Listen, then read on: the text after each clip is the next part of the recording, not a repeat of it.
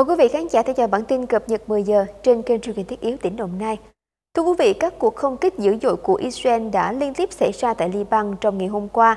Cùng ngày, quân đội Israel cũng đã tiến hành các cuộc đột kích ở phía nam, gây ra các vụ nổ làm xung chuyển thủ đô Beirut. Một quan chức an ninh Liban cho biết hôm qua, Israel đã lần đầu tiên không kích vào thành phố Tripoli ở phía bắc nước này và tiến hành các cuộc đột kích ở phía nam. Theo đó, Israel đã thực hiện ít nhất 8 cuộc không kích làm rung chuyển các vùng ngoại ô phía nam của Beirut. Thủ tướng Israel Benjamin Netanyahu cho biết các hoạt động quân sự của Israel đã phá hủy phần lớn kho vũ khí của lực lượng Hezbollah ở Liban. Ông cũng tuyên bố sẽ đáp trả loạt tên lửa gần đây của Iran nhắm vào Israel. Ông nói, không có quốc gia nào chấp nhận những cuộc tấn công như thế. Israel có quyền phản ứng lại những cuộc tấn công này. Trước việc Israel leo thang các tấn công, Tổng thống Pháp Emmanuel Macron ngày hôm qua kêu gọi ngừng cung cấp vũ khí cho Israel. Theo ông Macron, điều quan trọng nhất lúc này là tìm giải pháp ngoại giao cho cuộc chiến Israel-Hamas ở Gaza. Trả lời kênh phát thanh Ranks Inter, ông Macron cho biết ưu tiên cho cuộc chiến ở Gaza là quay lại giải pháp chính trị và nguồn cung vũ khí cho Israel phải bị dừng lại. Ông Macron cũng xác nhận Pháp không vận chuyển bất kỳ loại vũ khí nào cho Israel. Theo ông Macron, nếu chính sự Gaza dừng lại, thương vong của người dân Liban sẽ giảm. Ông nhấn mạnh, Liban sẽ không thể trở thành một Gaza khác.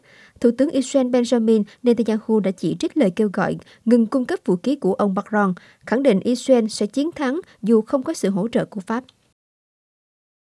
Hàng ngàn người hôm qua đã xuống đường tại các thành phố lớn trên khắp thế giới yêu cầu chấm dứt khóa hoạt động gây đổ máu ở Trung Đông.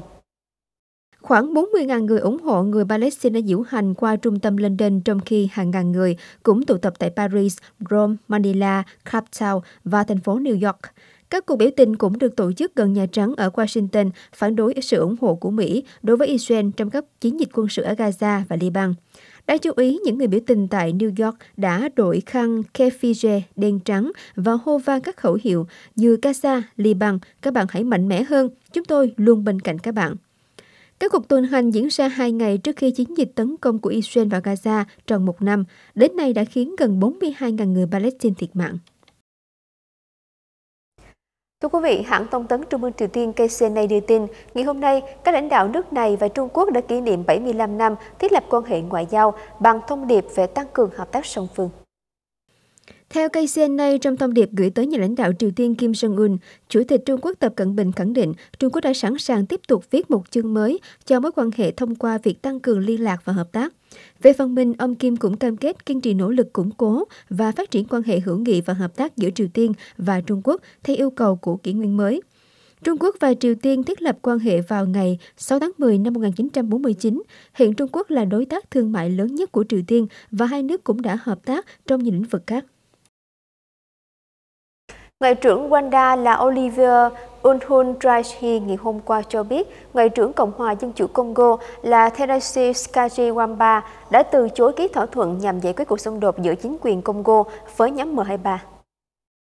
Nhóm M23 do người Tutsi lãnh đạo đã nổi dậy ở miền đông Congo kể từ năm 2022. Congo, Liên Hợp Quốc và các nước khác cáo buộc nước láng giềng Rwanda ủng hộ nhóm này.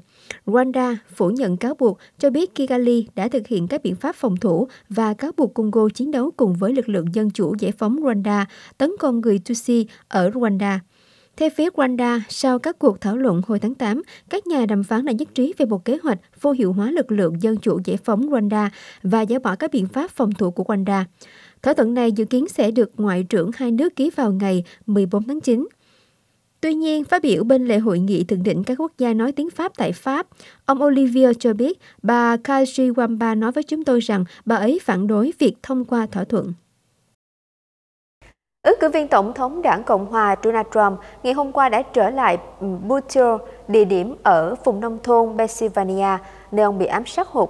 Tại đây, ông đã diễn thuyết trước đông đảo người ủng hộ. Ông Trump bắt đầu bài diễn thuyết bằng mệnh đề, như tôi đã nói, tạo cảm giác về sự tiếp nối bài phát biểu bị ngắt quãng khi ông bị một viên đạn sượt qua tay vào ngày 13 tháng 7. Trong lúc này phát biểu, ông Trump đã gọi người ủng hộ mạnh mẽ lên sân khấu. Ông Elon Musk, giám đốc điều hành của Tesla và chủ sở hữu nền tảng truyền thông xã hội X. Phát biểu khi đứng cạnh ông Trump, ông Musk nói, bài kiểm tra thực sự về tính cách của một người là cách họ cư xử khi bị chỉ trích. Ông Musk kêu gọi người dân tích cực đi bỏ phiếu.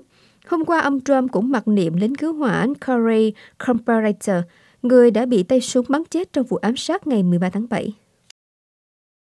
Quý vị khán giả vừa theo dõi bản tin cập nhật 10 giờ trên kênh truyền hình thiết yếu tỉnh Đồng Nai.